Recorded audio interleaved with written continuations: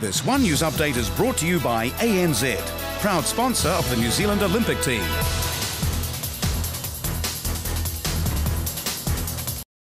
Tokelau is about to become the first country in the world to be entirely powered by solar energy.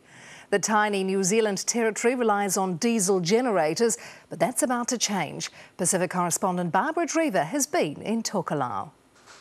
Tokelau radiates energy. Now it plans to harness it. By the end of this year, we will be the first country in the world, you know, to uh, meet our need from renewable energy. New Zealand's given $7 million to provide solar power for 1,400 people. It's really going to give them a, huge sounding board for um, overcoming some of the issues that uh, global warming is threatening them with.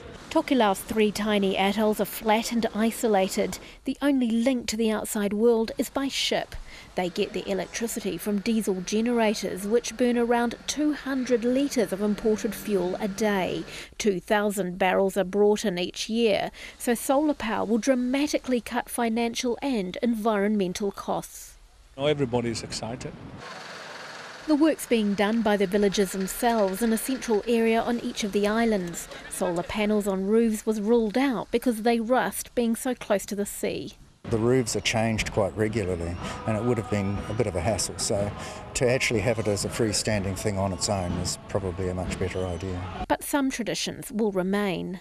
But solar power will make little difference to this open air communal style of cooking that the Tokelauans have done for generations. Instead of being at the mercy of the harsh sun, Tokelauans will be using it to improve their lives. Barbara Drever, One News. This One News update is brought to you by ANZ, proud sponsor of the New Zealand Olympic team.